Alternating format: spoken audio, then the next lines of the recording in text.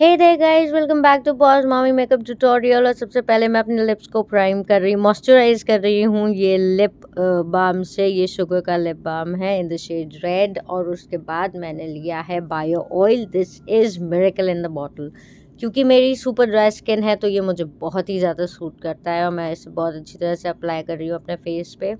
It's gonna penetrate in your skin और आपकी skin को बहुत ही ज़्यादा हाइड्रेट कर देता है अच्छी तरह से अंदर जाके।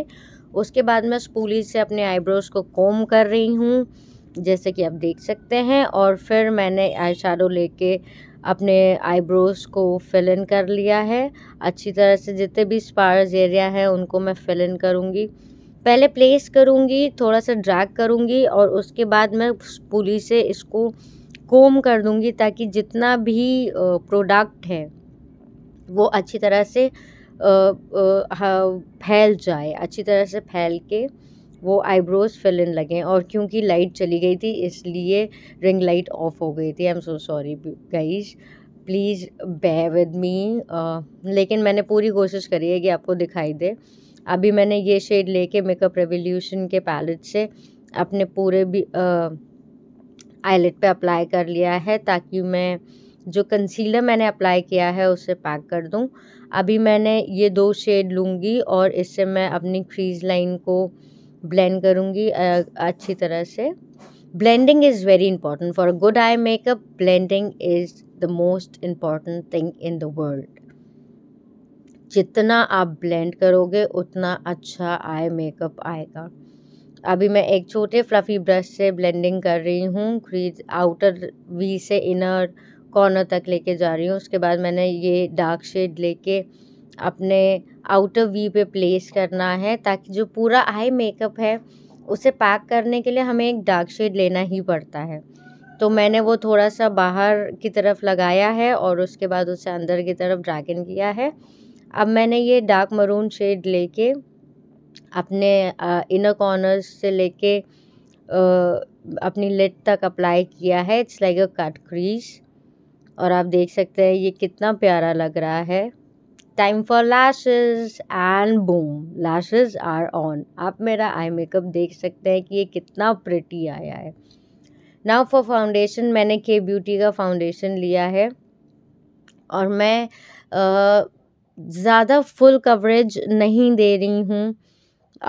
ये फाउंडेशन बहुत ही अच्छा है। इसे अगर आप कम लगाते हैं तो ये आपको मीडियम कवरेज देता है और मज़ीद इसे ज़्यादा लगाते हैं तो ये आपको ज़्यादा कवरेज देता है।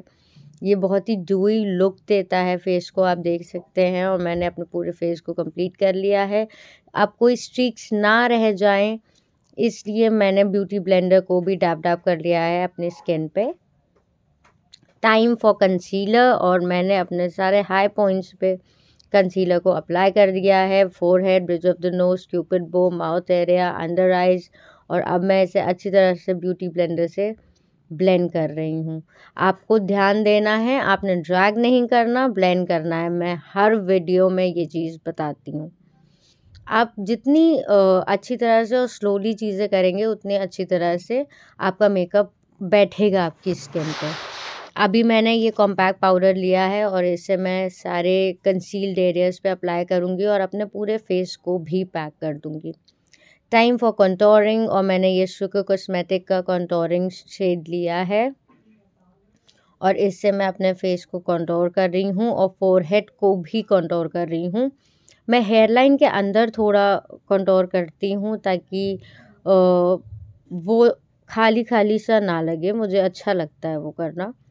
ब्लश टाइम और मैंने ये ने शुगर कॉस्मेटिक का ब्लश लिया है और मैंने ब्लश खुशी खुशी में बहुत ज़्यादा लगा दिया था but who cares you know I love blushes lower lash line के लिए मैंने सेम ब्राउन शेड लिया है और मैंने अपनी लोअर लैश लाइन को, उस ब्राउन शेड को अपनी लोअर लैश लाइन पे अप्लाई कर दिया है।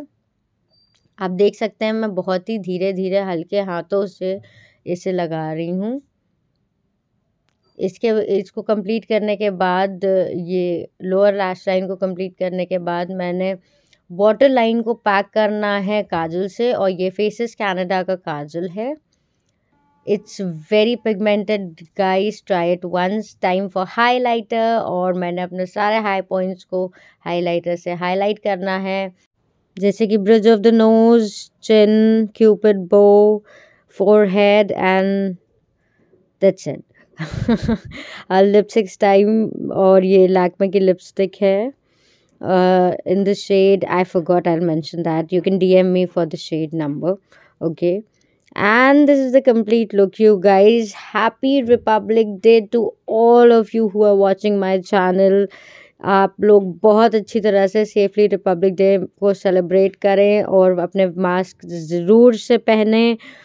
and if you like my video do give it a big fat thumbs up like share and subscribe to my channel bell button को press कर दें ताकि जब भी मैं कोई भी न्यू वीडियो अपलोड करूं आपको पता लगे and do comment in the comment box and let me know how do you like my video love you so much guys take care of yourselves happy republic day again i'll see you soon in my next video bye guys take care